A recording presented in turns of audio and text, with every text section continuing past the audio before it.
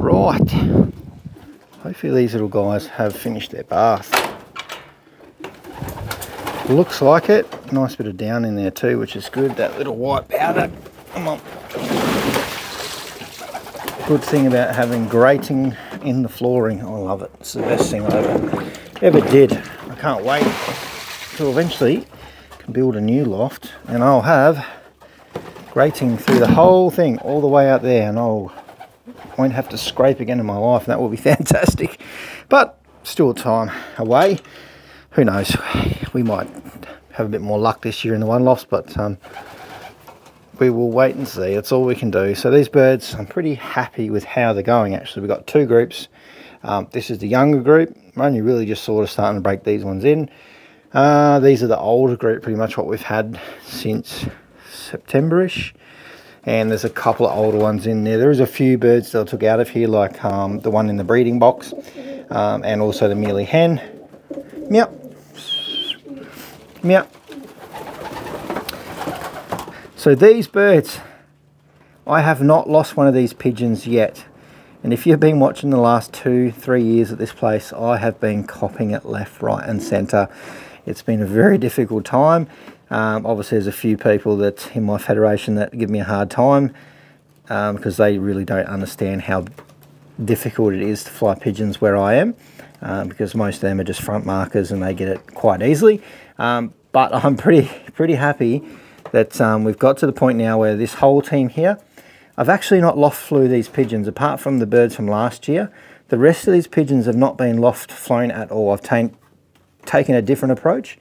Um, and I've only really, I've done a lot of things this year differently, but one of the big things is not loft flying the pigeons. So what I did is, say this group here, I let them out, and as soon as they start flying together, kitting together, when all the babies, instead of flying 10 different directions, they fly all together, I start tossing them. What I did with these guys, I started, what I wouldn't really call it, it's not training, it's just educating. I started putting them on the road. It was, I was a bit nervous about it but I thought this is the only way we're going to get past the Falcons this year because they pretty much destroyed us over the last couple of seasons. Come here.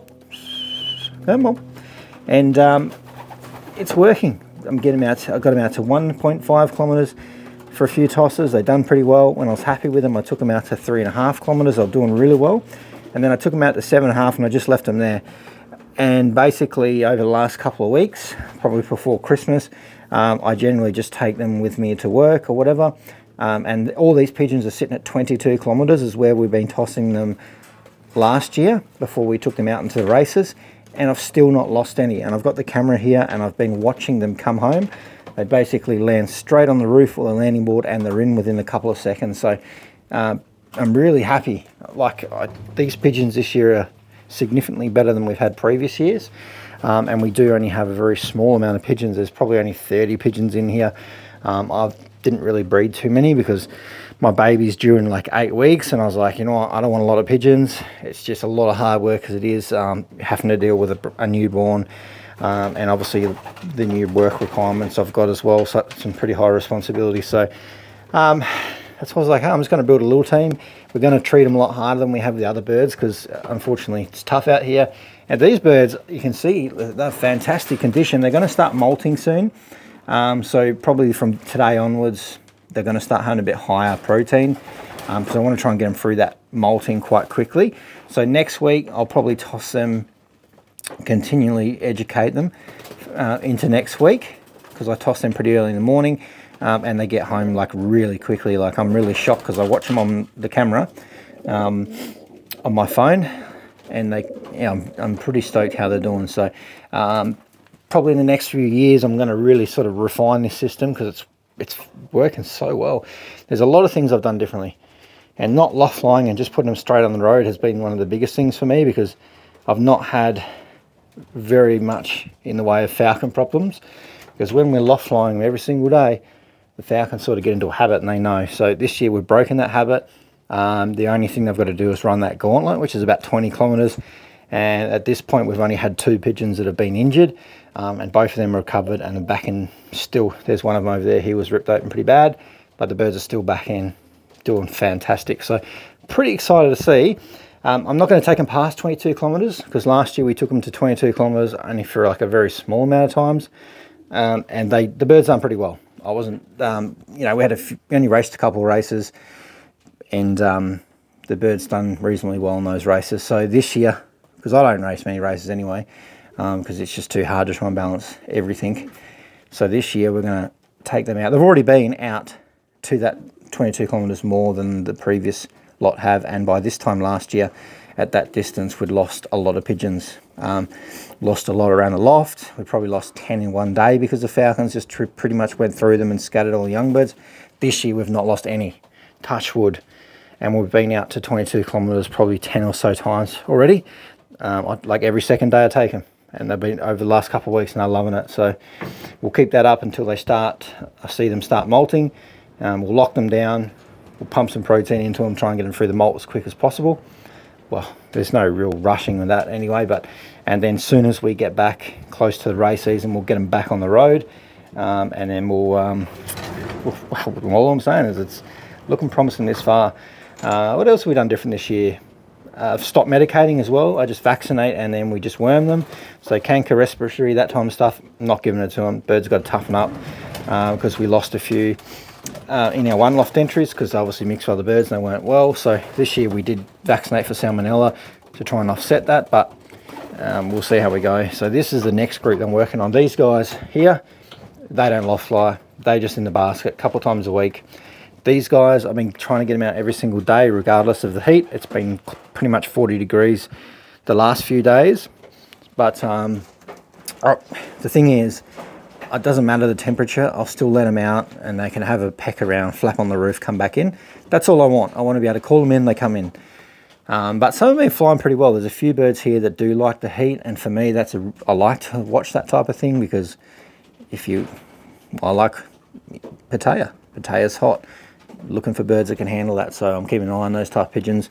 Um, only small indicators. It doesn't. It's not huge things saying, "Oh yeah, that's going to win." But that's not what's going to happen. But you've got to compile all this data together, observations, and try and make good decisions out of that. And that's what we're trying to do. Um, so these guys are looking fantastic. This little hen, um, and probably this one is probably this. We're going to send the brothers and sisters to those ones to Pattaya. Um, but we'll just wait and see how we go. Brothers and sisters these pieds too. The one cock throws pieds, the other cock just throws solid colours. But so far these colour, I haven't. That's another thing I haven't done this year. I haven't. The only thing I focus on is performance. I've only bred from the pigeons that done well for me over the last year probably. Um, in terms of not losing them, things like that. And one loft results kind of. They're not really I don't really like to pick one loft pigeons based on local racing results because you're just not going to do that well in my opinion. And I watch that. I've watched people that are fantastic local racers, maybe front markers, they've maybe got an easy position, they have some fantastic results, they breed off those pigeons, put them in one loft, and they're not, they just miss the mark a little bit. There's not consistency there, so I've just been, I'm just breeding consistent pigeons basically that are hard to lose.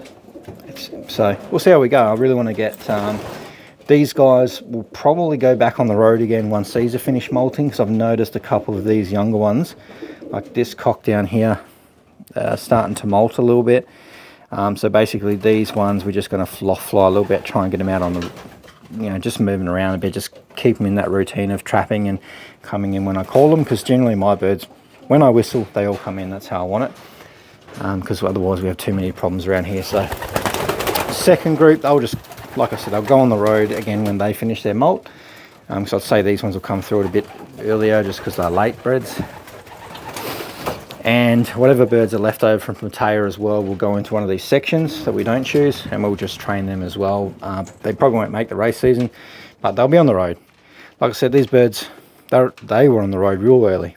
We're not lost any. So, so I'm, I'm, I keep saying it, but if you've been watching this channel, like last few years we've had it really, really tough and there's a few changes we've made.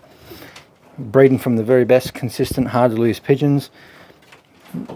Pretty much wiping out most of the medication apart from PMV, Rota and only Salmonella in my one loft pigeons. Um, and not doing stuff like canker and all that kind of stuff. Like we don't have that much problem here. Um, the only thing I may consider in winter, if we have a wet winter, which I think we might, is um, I will look at maybe one dose of Coxie as well, just to be safe, but we'll do that case by case if the birds look a little bit off, but trying to avoid all that. Um, three hens left over that I haven't utilised to breed with. Um, and I've got one little baby here, little hen. Uh, she's just a little bit light for some reason. It's, I think she's not eating enough, but I've put her in here and she's looking pretty good. She's a very skinny pigeon as it is. She's very narrow and long. Um, so I've just brought her across here. She's off uh, Checkmate. So the daughter of Checkmate when I paired him to Storm. So I only got one baby off her this year and that's it there. So I thought we'll just look after it. And these guys, same as the other ones, um, they're on that heavier mix. There's quite a lot of fatty seeds and high protein here at the moment because we're at that time of the year where things about to, feathers about to start falling everywhere. Um, but these guys, oh, and I've got three little babies. They've just sat there for the meantime, which are out of this group, which for some reason they're very naughty. These are like some of the naughtiest pigeons I've come across. They're just eating rocks. They go outside, scooting in under here. You notice this year I've blocked off all the front and the sides, but these pigeons go out around the back come in under and have a bit of a look around here, even though there's no seeds in here. Um, those two back ones are the naughtiest, and he's younger, and he's starting to follow them, which I'm trying to crack out of them a bit. I'll let them out this afternoon. They haven't been fed because they come in just before dark last night. So hopefully tonight they'll come in because otherwise I'll keep missing out on food until they come in with the rest of them. These birds are fantastic, so I can't can't fault those ones, and definitely can't fault these pigeons. But let's have a closer look at some of them because you know some fantastic looking birds in here this year.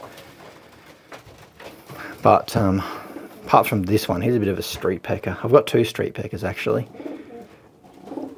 I call them the field peckers. They're really hard to lose little pigeons, but they look like ferals. But it doesn't really matter what they look like, as long as they've got the results there. So um, we'll give them a really good test this year, I think. Um, got a few ones like these. Um, I bred a couple like this last year and I didn't lose any of them and they they flew really well too. I'm pretty so I've bred a lot of them this year. Um, oh, come here, buddy. So those, yeah, we'll have to go into a bit more individual basis as we go along, but there's um, there's just a lot to cover. I haven't been making too many videos, there's a lot to sort of catch up on, but basically we've just been working on the Pattaya pairings.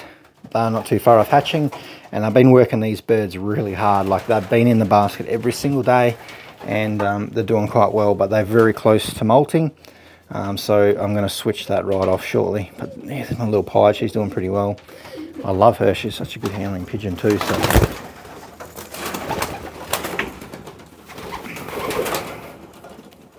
but I will catch you guys in the next video this is just an update and then we'll start going into things a little bit more um, because it's about to get a little bit exciting. The race season isn't really that far away. We just got to get through this molt, get them back on the road, and then racing starts, and we'll, we'll get a couple of races in, I say. These guys are getting pretty keen to go out, I think.